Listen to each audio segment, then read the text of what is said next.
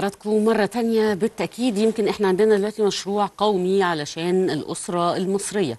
الاهتمام بالأسرة المصرية مش حديث. لو نرجع يمكن في فترة من الفترات بقى في نوع من أنواع يعني التفكك بشكل كبير. عشان كده دلوقتي بقى عندنا مشروع قومي خاص بالموضوع ده. لكن من أيام القدماء المصريين كان فيه اهتمام كبير جدا بالأسرة المصرية كان فيه اهتمام بالترابط الأسري. وإيه هو معنى الأسرة عند المصريين؟ آه، التربية عندهم كانت إزاي؟ هل كانت التربية الحديثة ولا كانوا بيتدخلوا في كل كبيرة وصغيرة؟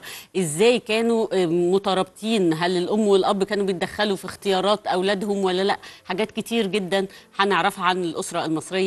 بيشرفنا في الاستوديو الدكتور بسام الشماع عضو الجمعيه المصرية للدراسات التاريخية.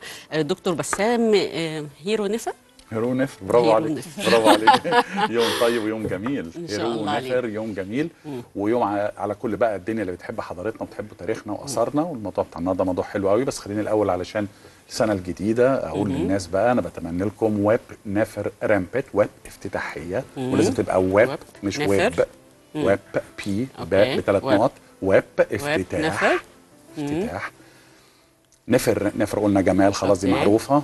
رامبت سنة عام افتتاحية سنة جديدة. okay. كويس. وبعدين هروح أنا ضيف بقى لكل الناس اللي بتحبنا وكل الناس اللي بتحب حضارتنا وبتحب بلدنا بلد الحضارة. هقول لهم بقى خ ام خت نبت نفرت. ناخدها لا ده بالراحة. كتير قوي بالراحه واحدة واحدة. خ ام خت ألف. خدوا بالكم. ام وبعد كده هوت خت نبت نفرت. ألف من كل شيء جميل. أمنيتي للناس. زي ما المصري القديم كان بيحط على القرابين بتاعته وعلى المأكولات بتاعته وعلى الهدايا اللي هيديها وهتروح بتاعته هترجع تتلقاها في المقبرة. كان يكتب الجملة دي. يعني زي ألف ألف مبروك ألف مليون. سلامة اللي إحنا بنقولها. بنحط ألف الألف. قبل كل رقم حاجة. ألف ده واضح إن هو ليه له علامة، له له مدلول. علامه وليه مدلول. عندنا اللي هو ما كانش هيقدر يحط ألف من قطع الخبز ألف من راس الأوز. فيروح بدل ما يحط ألف ألف ألف ألف ألف ألف من قطع الكتان ألف من قطع الألاباستر. يروح كاتب الجملة دي. خائم خات نبت نفرت ألف من كل شيء جميل. فأنا أقول للعالم كله بتمنى لكم في السنة الجديدة ألف من كل شيء جميل إحنا عايزين. مرة نتكلم بقى في علم الرياضيات بدل ما ندخل في الألف لأن واضح إن هو هم بالتأكيد كانوا عباقرة لا. ورقم والألف فعلا أنا يعني عمري ما خدت بالي إن ألف كده. مبروك ألف نهار أبيض يا ألف الحاجات دي. كلها آه. مصري قديم تعالي بقى طيب، نعمل أنتوا بتدوني أفكار تملي تعالوا نعمل مرة حكاية العلاقة ما بين الأرقام وما بين هنعمل ده خلينا. بس النهارده نتكلم عن موضوع فقرتنا وهو دور الأسرة أيام المصريين القدماء القيم عند المصريين القدماء كانوا بيربوا ولادهم إزاي إيه أبرز أو أهم القيم اللي كان بيركزوا عليها في نشأة الجيل الجديد بالظبط. تكوين الأسرة كان شاغل بال المصري القديم والمصرية القديمة لدرجة إن إحنا عندنا برديات طويلة جدا من الحكم اللي كان الأب يقعد فيها مع ابنه يقول له تتعامل إزاي مع مامتك مع والدتك؟ تتعامل إزاي مع الزوجة؟ تعاملها إزاي في البيت بتفاصيل هقول لكم عليها رائعة. إزاي الزوجة والأم اخذت بالها من نفسها في البيت وبره البيت لو كانت بتشتغل؟ إمتى الست طلعت تشتغل في مصر القديمه من آلاف السنين وقت ما كانت السيدة ملهاش أي اعتبار؟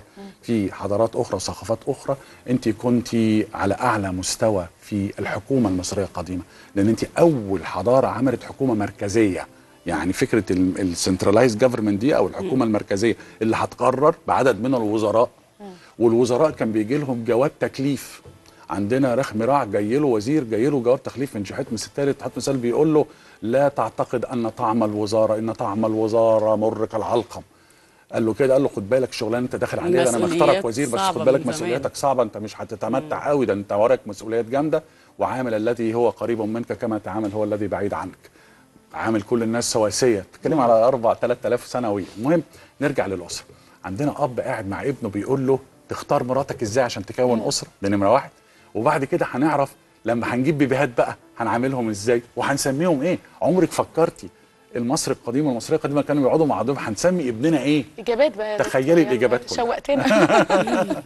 نمرة واحد اختار مراتك ليها صفتين. أنا بتكلم هنا من آلاف السنين ماليش دعوة ب 2022 أنا راجل من قبل الميلاد بتجيبوني من قبل الميلاد. حطيني ربع ساعة واطلع من قبل الميلاد أرجع تاني. ماشي؟ فبيقول له في صفتين في السيدة عندما تختارها. نمرة واحد خفيفة الظل.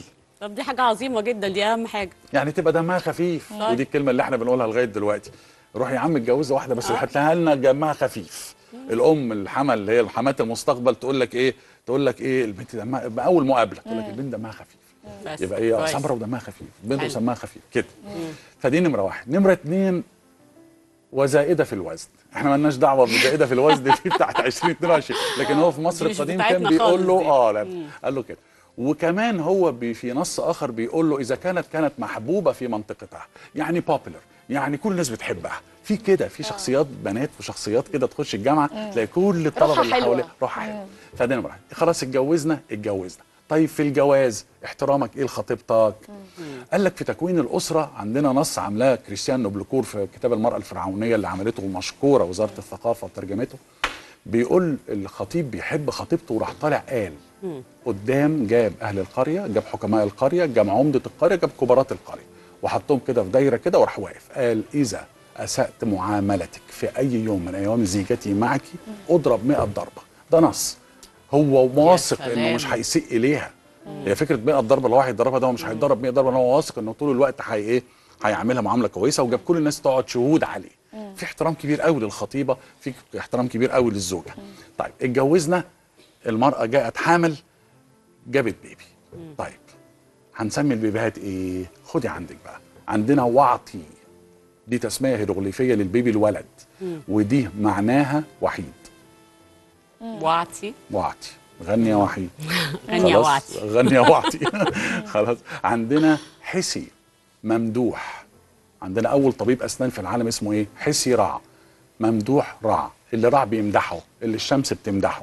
رايح تعمل سنانك عند دكتور مين؟ دكتور سنان متخصص. حسي. حسي. حسي. رع يعني ممدوح رع رايح لدكتور ممدوح. انت متخيله كم الجينات اللي في الاسماء اللي عايشه آه، لغايه ده دلوقتي؟ إيه ده؟ واخده بالك؟ يعني ممدوح ده اسم مصري قديم. ممدوح حسي مكتوب كده حسي. حسي رع ممدوح رع فحسي رع عندنا مثلا تسميه لطيفه جدا آه، أنا من يعني من المعجبين بيها جدا في في البنات. البنات كان في تسميه اسمها بنريت. بنريت يعني طعمه. بالظبط كده. دكتور عبد العزيز صالح في كتابه نفسه اللي. بشكر وزاره الثقافة أنها ترجمته عبد العزيز صالح رحمة الله عليه. طبعا كان بيتكلم عن الأسرة والتربية في مصر القديمة والسلوك بتاع التربية بتاع العائله في مصر القديمة. وقال لنا الأسماء اللي كانت محبوبة كانت بتسمى للبنات. بنريت كان من ضمن الأسماء ديت وبنريت معناها طعمة.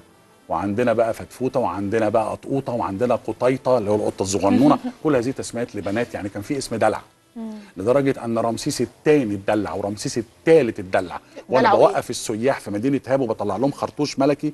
في كده هوت في كده يعني رمسيس اتدلع زي ما بيقول لنا الدكتور عبد العزيز صالح سو سو اللي هو انت ممكن تسميه سوسو دلوقتي أو تسميه حاجة زي كده. أو شوف ده بيتدلع متخيلة. ده ده, ده افتحوا عبد العزيز صالح كتابه في وزارة الثقافة هتلاقوا المعلومة دي بالظبط مكتوبة فيها بالجملة.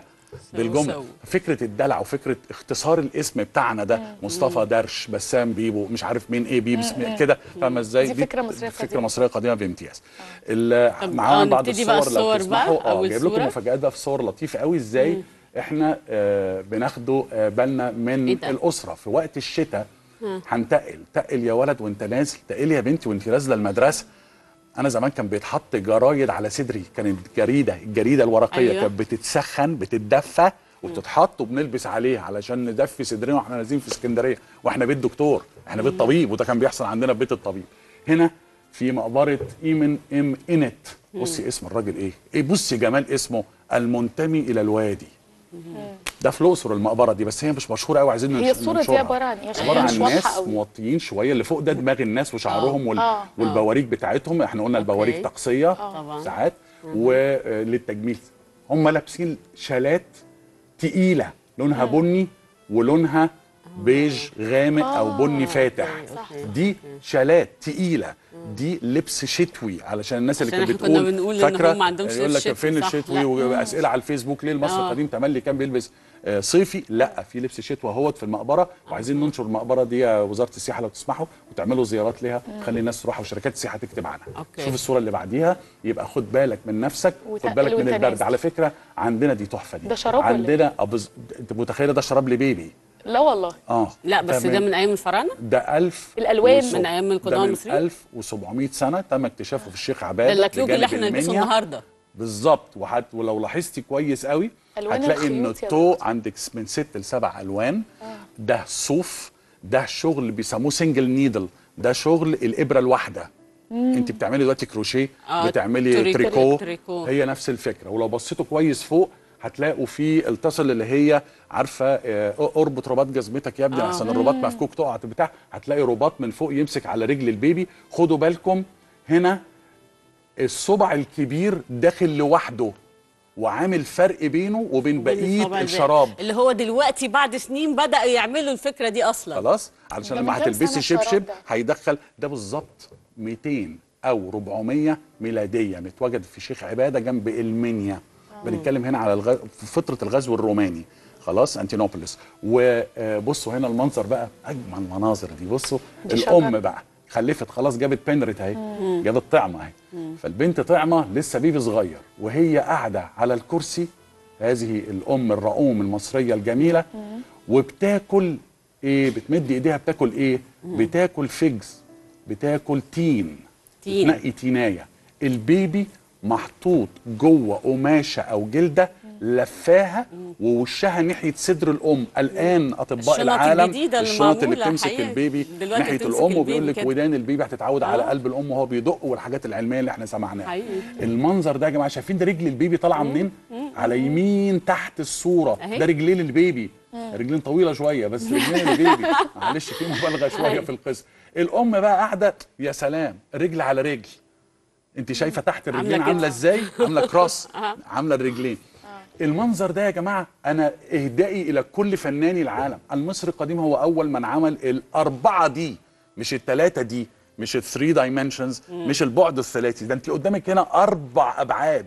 لو بصيتي هتلاقي اللي شايفاه قدامك واللي ورا الرجلين الاثنين اللي عاملين cross وبعد كده الشجرة اللي ورا خالص وال baby ذات نفسه عامل مع الأم dimension وعامل بعد في المنظر. نحته في منتهى الجمال ال baby لازم يبقى قريب. أنا دي قربتها لكم أهي. شايفين. ال baby أهو نازل منه شعرة كانوا بيحلقوا شعر البيبيهات.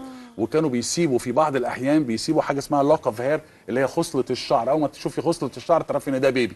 رمسيس الثاني عنده تمثال هايل حاطط صبعه في بقه ومنزل خصلة شعر كده اهوت خو- شوفوا بقى الكلام. أهو. واب نفر رامبت اهي دي السنة الجديدة. إيه 19 بقى اللي أنا حاططها لكم دي؟ 19 يوليو كان أول يوم في السنة المصرية القادمة. دي حتى بس بمناسبة السنة الجديدة سريعا يعني. خلاص وكان في احتفالات. وهل كان في أعياد ميلاد؟ وهل كان في احتفالات في مصر القديمة؟ 19 يوليو. آه لأن وصول الفيضان 19 يوليو. وصول الفيضان 19 يوليو. فسنته بتبتدي مع وصول 19 الفيضان. تعالوا نشوف الصورة اللي بعديها لو تسمحوا. وكان في أسباب العامل كان يروح للمدير بتاعه يقول له عيد ميلاد بنتي في البيت عايز اخد يوم اجازة عشان عيد ميلاد بنتي. نص مصر قديم. وواحد تاني قال له عايز أروح اعدل باب البيت. باب البيت في حاجة عايز أروح اصلحه. بياخد اجازة؟ بياخد يروح يقدم طلب اجازة عارضه بيسيبها وياخد تصلحها. وما طيب،. عارفة اللي هو نظام صلح لنا دعوة. الباب يا- بقى؟ يا أبو أحمد وأبو أحمد يقعد سنتين على ده مكياج؟ انت متخيلة ده إيه؟ ده حاجة اسمها بالإنجليزي كيرلر ده يا جماعة مجعد الشعر. انت متخيلين؟ ده اللي بيعمل الشعر curly بجد؟ ده آه آه من هي الأسرة نفس. تقريبا الشكل قريبة جدا لغاية دلوقتي هو اللي بتلف حواليها الشعر كده فيطلع عشان يطلع ملولو آه، وكده وبتعملي ملولو. شعرك curly دي دي كانت لسه موجودة لحد. قريب بالحرارة. دي كانت لسه موجودة يعني بالظبط. من إحنا كنا قريب بنشوفها عند الكوافيرات ونشوفها في البيوت. وبصوا يا جماعة اهي بقى. وراح عامل كمان مقص وراح عامل من ورا شوف الفن ما هو لازم يضيف الفن بتاعه. خلاص دي برضو مجعده الشعر curler خلاص عملها على هيئة فهد مرقط الفهد. لو آه، بصيتوا فيه كويس. هتلاقوه منقط. آه، بصوا. التفاصيل. خلاص وبعدين رجلين الفهد من ورا فاتحة على هيئة زهرتين أو زهرة مفتوحة اتنين. والبتاع اللي فوق الزهرتين دي دي سكينة.